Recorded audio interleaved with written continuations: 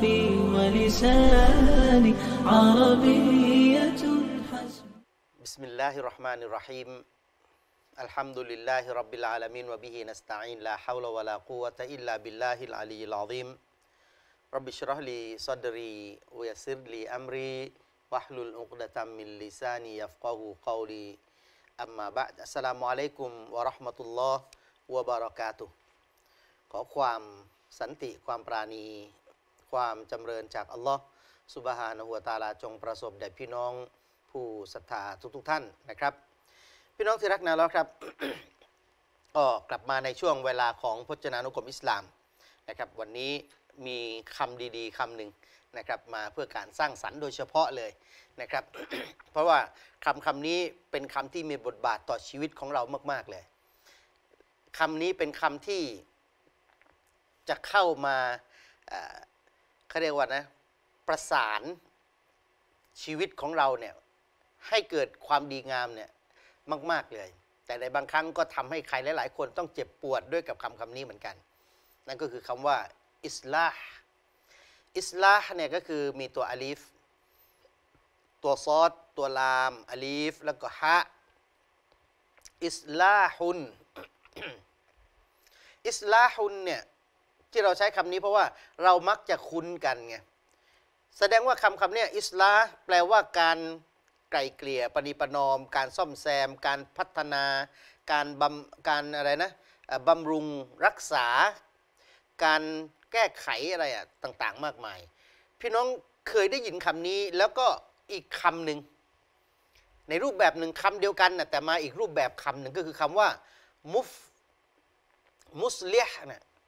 นะอิสลาหรือมุสลิฮแปลว่าผู้แก้ไขเปลี่ยนแปลง เอาจริง ๆ เลยนะคำคำนี้คือคำว่าซอละซอและนั่นแหละนะคือคำว่าซอและแต่ผมเอาคำนี้มาในรูปแบบของคำว่าอิสลาพอบอกคำว่าซอและพี่น้องรู้แล้ว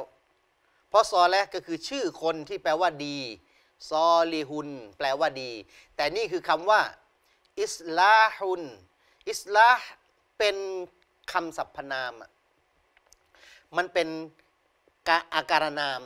ของคำว่าแก้ไขเปลี่ยนแปลง อิสลาคือการแก้ไขเปลี่ยนแปลง การแก้ไขแปลว่าสิ่งที่ดีเนี่ยสิ่งที่ดีอยู่แล้วให้มันดีขึ้น สิ่งที่กำลังจะผิดพลาด ปรับปรุงให้กลับเข้ามาอยู่ในเส้นทางให้ดีขึ้น อะไรที่มันกำลังจะเปลี่ยนแปลงไปเบี่ยงเบนไปเอากลับเข้ามาในเส้นทาง ซึ่งคำเหล่านี้มันก็จะตรงข้ามกับคำประเภทฟาซาดความชั่วนะที่กำลังจะทำให้เกิดความเสียหาย ถ้าชีวิตของคนเราเนี่ยเอาแต่ฟังเพลงฟังเพลงไร้สาระด่าทอ มันจะทำให้ชีวิตของคนคนนั้นเน่เริ่มเสียหาย เริ่มเลวเริ่มมีจุดด่างจุดดำกลายเป็นของเสียในที่สุด อิสลาห์ก็เลยเป็นคำที่ตรงกันข้าม แปลว่ากำลังพัฒนากำลังเปลี่ยนแปลง เหมือนกับเราได้เคยได้ยินประเทศที่กำลังพัฒนา ประเทศที่ด้อยพัฒนาประเทศที่พัฒนาแล้วคำว่าพัฒนานี่แหละ คือคำว่าอิสลาห์อิสลาห์เนี่ยเอามาใช้กับจิตใจได้ เอามาใช้กับจิตใจ พัฒนาจิตใจ การพัฒนาจิตใจของเราให้สูงขึ้นทำยังไง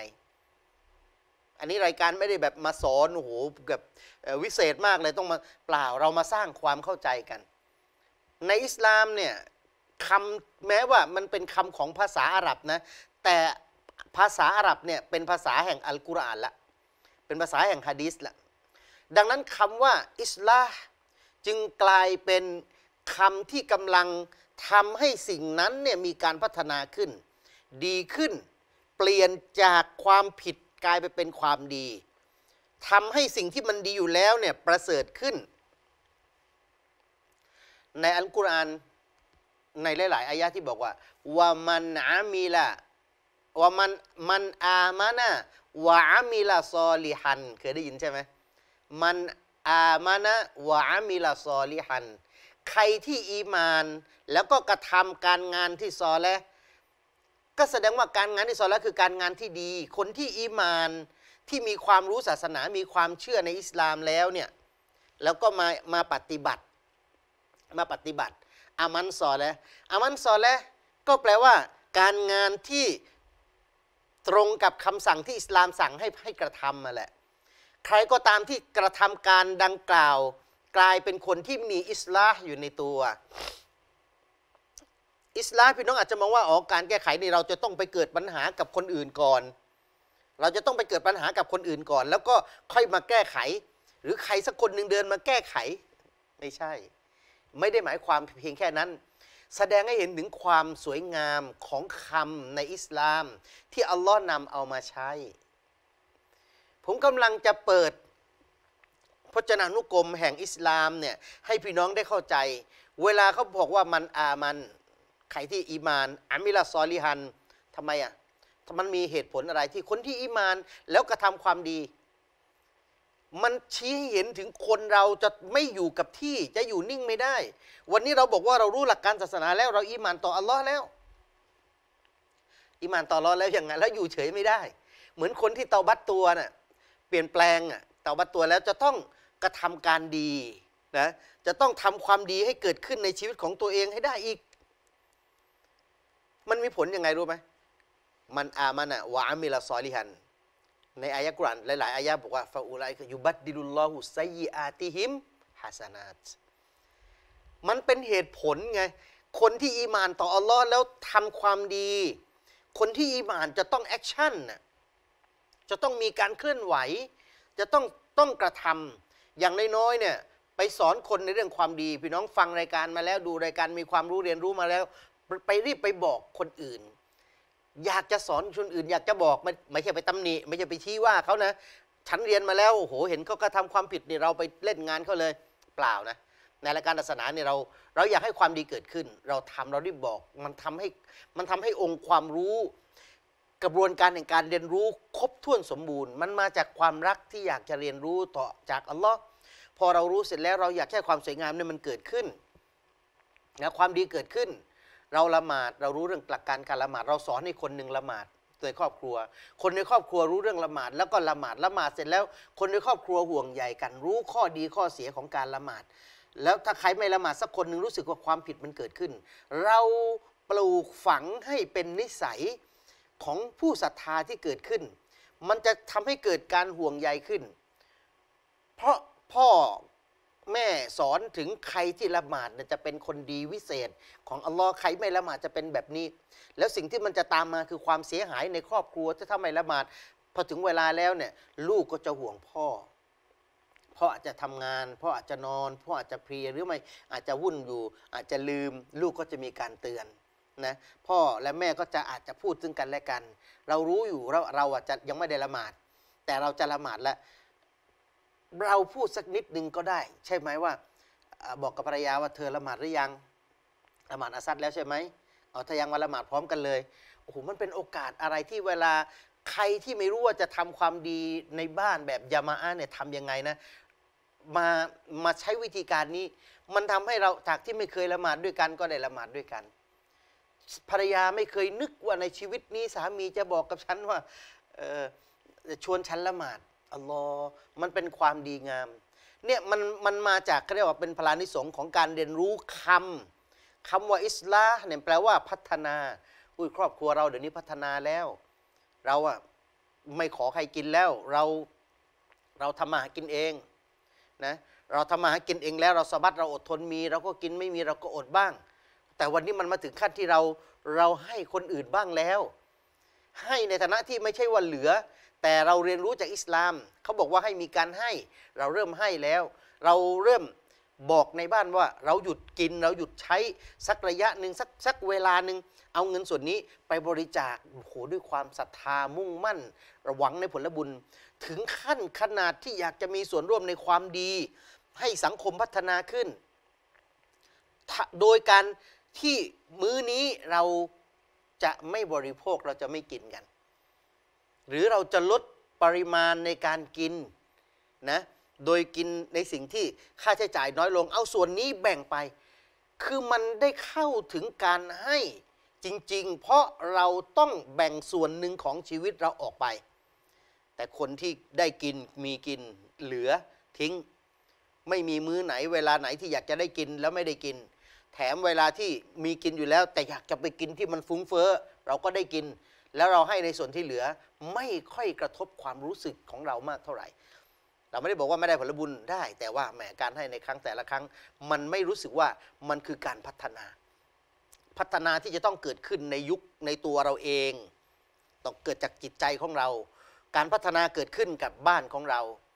ลูกของเราตัวเล็กๆเขาไม่เคยรู้จักความสะอาด ไม่เคยรู้จักระเบียบพอว่าลูกเราโตขึ้น ลูกเรามีการพัฒนา ลูกเรารู้จัก มีวาระของชีวิตลูกเรา มีแขกมาลูกจะอยู่แบบไหน ลูกจะพูดอย่างไร เวลาลูกที่ลูกมีความรุ่มร้อนใจร้อนโมโห ลูกอยากจะพูดจะพูดแบบไหน มีขั้นตอนในการพูดคนที่ลูกจะพูดด้วยเนี่ยคือพ่อกับแม่จะต้องใช้วาจาแบบไหน อิสลามกำลังสอนไงอิสลามถ้านำเอาไปใช้จริง ๆ โดยหลักของนิติศาสตร์อิสลามเนี่ย แม้ว่าเขาจะนำเอาไปใช้ในการไกล่เกลี่ยประนีประนอม นี่แสดงให้เห็นว่าคำคำนี้พฤติกรรมนี้เป็นพฤติกรรมที่ไม่ธรรมดาที่สามารถนำเอาไปใช้ในกระบวนการการปรับเอ่ออะไรนะไกลเกลี่ยประนีประนอมระดับระดับประเทศ ระดับโลกระดับชาติ เช่นทำให้คนเนี่ยกลับมาปรองดองกัน พี่น้องจำให้ดีนะ วันที่ เราอาจจะทะเลาะกัน เราอาจจะขัดแย้งกัน และนำไปสู่การไม่มองหน้ากันเป็นศัตรูกันเมื่อไหร่คำคำนี้เนี่ยจะเดินเข้ามาในในวิถีชีวิตของเรา จะมีคนที่แบกคำนี้มาหาเรา อาจจะเป็นตัวอิหมัมก็ได้ อาจจะเป็นคนจนที่สุดในสังคมก็ได้ หรืออาจจะเป็นคนรวยที่มีบารมีในหมู่บ้านเราก็ได้ หรืออาจจะเป็นผู้ผู้นำผู้ปกครองในชุมชนก็ได้ เพราะฉะนั้นเราไม่ตำหนิใครเลย จะเป็นผู้ใหญ่บ้านกำนันอบตหรือใครก็ตาม หรือผู้รู้หรือคนที่มีอิทธิพล หรือเป็นอดีตตำแหน่งใดก็ได้ ที่มีส่วนที่มีส่วนร่วมในสังคม ให้คนเหล่านั้นเนี่ยนะมีอบมีบทบาทเราเห็นในหลาย ๆ ครั้งนะการไก่เกี่ยปณิปนอมมาแค่มาจากมาจากการที่เราไปมาหาสู่กัน อิสลาเกิดขึ้นเนื่องมาจากว่าเวลาเจอปัญหาแล้วผู้ใหญ่ลงมามามาใส่ใจมาดู เด็กๆวิ่งมาแล้วก็เห็นบางทีเห็นเหตุการณ์ที่ไม่ดีเด็กๆร้องไห้ เขามีส่วนร่วมในการไกล่เกลี่ยนะเราทำให้คนที่มีข้อพิพาทกันเนี่ยกลับมามีพฤติกรรมคืนดีกัน มีปฏิสัมพันธ์ในสังคมไปมาหาสู่กัน มีความรักความห่วงใยมีมีความเป็นพี่เป็นน้องกันเหมือนเดิม อย่าได้อคติต่อกัน อันนี้เรื่องใหญ่ อิสลามบอกว่าถ้าใครจะทำการใหญ่แบบนี้นะ อนุญาตให้โกหกได้ เราไม่ใช่เอาโกหกเพื่อเอาตัวรอด การโกหกลงทุนเพื่อให้คนที่เป็นศัตรูกันเป็นปฏิปักษ์กันในสังคมที่นำมาซึ่งการละนัดการสาบแช่งการขาดบารักัตต่างๆ เราบอกไม่ได้เราอยู่ในสังคม เราต้องไม่ให้สิ่งนี้เกิดขึ้นนะเราต้องไปไกล่เกลี่ยพยายามสร้างเรื่องนะ ให้เขามีความรู้สึกว่าเออเรามาเนี่ยมีคนนี้เขาดีกับเราแบบนั้นเขาต้องการแบบนี้ จริง ๆ แล้วทุกคนก็เหมือนกันนะอะเดี๋ยวก็จะมีการไกล่เกลี่ยเราโกหกบางอย่างที่ซึ่งมันไม่คนนี้ไม่ได้พูดคนนั้นไม่ได้พูด แต่เราต้องการเป้าหมายคือให้เขาดีกัน เมื่อดีกันแล้วเนี่ยสิ่งอย่างจบไปเราเริ่มต้นกระบวนการดำเนินชีวิตใหม่นี่เป็นสิ่งที่ดีงาม เพราะฉะนั้นคำว่าอิสลาห์นะก็คือการกระทำในสิ่งที่เป็นความดีนั่นแหละมาจากคำว่าซอแลห์นั่นแหละ เพราะนั้นคนที่ชื่อซอแลเนี่ยเหมือนกับนบีซอแลห์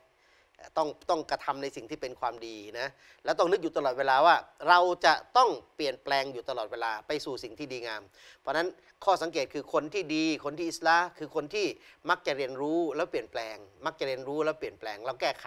ไม่ใช่ตำหนินะครับก็คงฝากพี่น้องไว้นะน่าจะมีไงคิดบ้างนะครับเพียงเท่านี้สลามอะลัยกุมวะราะห์มะตุลลอฮ์วะบะเราะกาตุ بأنك منطقي وبياني. عربية قلبي وروحي أحرفي ولساني. عربية